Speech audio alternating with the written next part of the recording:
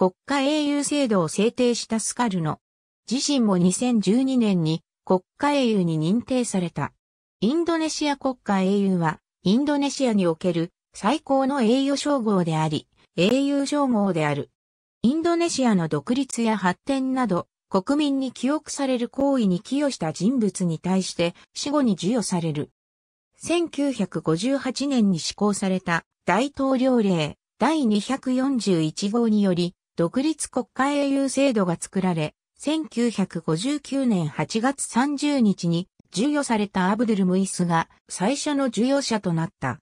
スハルトが政権を掌握した1960年代に独立国家英雄から国家英雄に名称が変更された。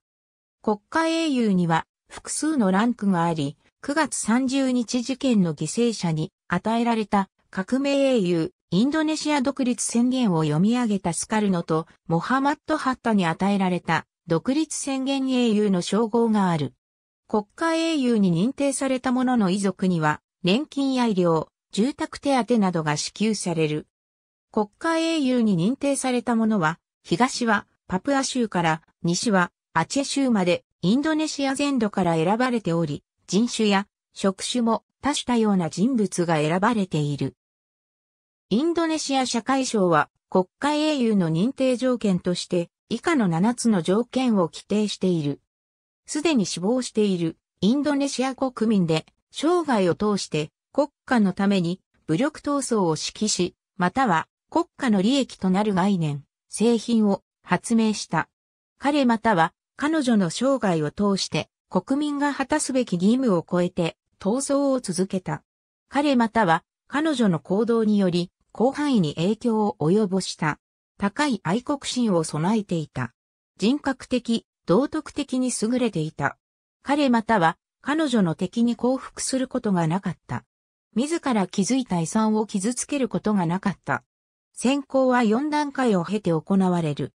最初に一般市民が市長、または市政府機関に候補者を提案し、市長が州知事に推薦した後、各州の候補者リストを社会省と選考委員会で協議し、大統領が最終的に認定する。選考委員会は学者2名、軍関係者2名、何らかの勲章、称号を授与された経験のある者3名の計7名で構成されている。認定者はジャカルタで開催される授与式で選考委員長を務める大統領から称号を授与される。2000年以降、授与式は英雄の日に合わせて11月上旬に行われている。認定にあたっては政治的な理由が介在することもあり、スカルのハッタの認定の際には委員会との協議が行われず社会省単独の推薦だったと指摘されている。